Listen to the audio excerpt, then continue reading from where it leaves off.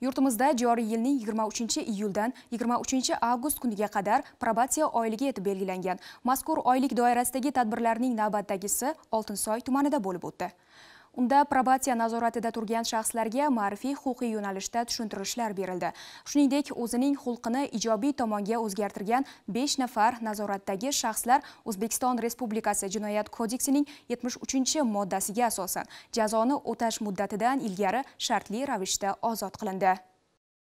Dastlab probatsiya xizmati nazorati ostida turgan shaxslar bilan suhbatlar o'tkazilib, qonunchilikda huquqbuzarlik va jinoyatchilikni oldini olishda belgilangan tartiblar haqida ma'lumotlar aytildi. Shuningdek, voyaga yetmaganlar o'rtasida jinoyatchilik, giyohvandlik, ichkilikbozlik va diniy ekstremizmga qarshi kurashish firibgarlik hamda o'g'irlik holatlarining oldini olish masalasiga ham alohida e'tibor qaratilib huquqiy tushuntirishlar berildi tadbir davomida jinoyat ishlari bo'yicha oltinsoy tuman sudi tomonidan sayyor sud majlisi o'tkazilib tuman ichki ishlar bo'limi.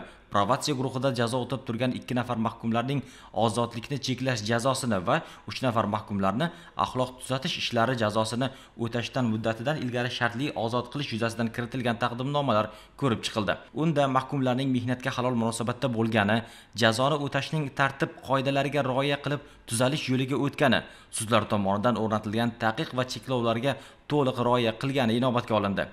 Tuman ichki ishlar bo'limida sayyor sud bo'lib o'tdi.